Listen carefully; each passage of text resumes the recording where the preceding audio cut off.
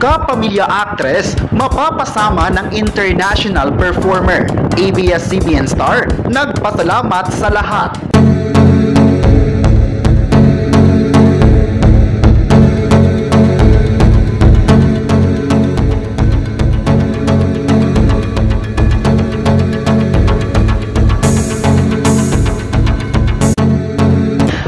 Ibang level ang dating ng kapamilya P-pop star na si Maymay Intrata sa kanyang upcoming single na Auto Didma dahil makakasama niya rito ang Korean rapper singing songwriter na si Wooshok.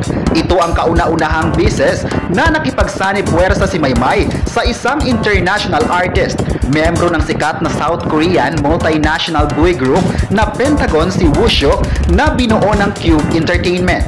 Tungkol ang collaboration ni Maymay at Wooshok sa katotohanang laging may masasabi ang lipunan sa tagumpay ng bawat tao kaya't mas mabuti huwag na lang itong pansinin.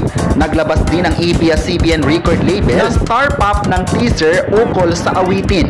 Kamakailan na nagsabing ang ibig sabihin ng Otto Didma ay automatikong hindi pagpansin sa mga komento at puna ng ibang tao. Unti-unti nang nakikilala si Maymay bilang Pinoy pop soloist dahil sa kanyang nagniningning na performances. Sinusundan ng kantang Otto Didma ang mga empowering songs niyang Ama Kabugera at Pwede Ba. Naging nominado rin siya sa MTV Europe Music Awards noong 2022 bilang Best Asia Act. Abangan ang Otto Didma single drop ni Maymay, tampok si Wooshok sa April 28, Biyernes sa iba't ibang music streaming platforms. Si Maymay Intrata ay nagsimula sa Pinoy Big Brother na nakilala din sa TV series at movies.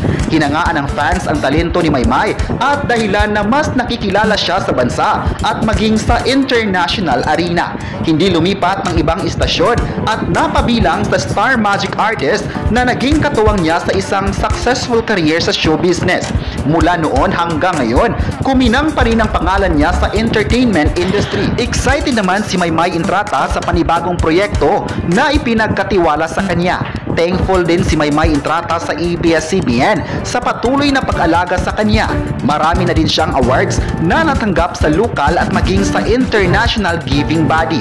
Masasabing isang performer at magaling na actress ang kapamilya star. Ayon pa ng netizens, masaya sila dahil napili ang kapamilya na ikaparihas sa international artist. Isang karangalan ito na makasama ang performer mula sa South Korea. Ayon pa ng netizen, excited sila na mapanood ang Otto Dedma sa YouTube channel. Isang magaling na artist si Maymay Intrata at bagay lang na napabilang siya sa proyekto. Kayo, ano ang masabi niyo na makakasama si Maymay Intrata sa international artist mula Korea? I-comment na kung proud ba kayo sa kanya at huwag kalimutang i-subscribe ang ating YouTube channel.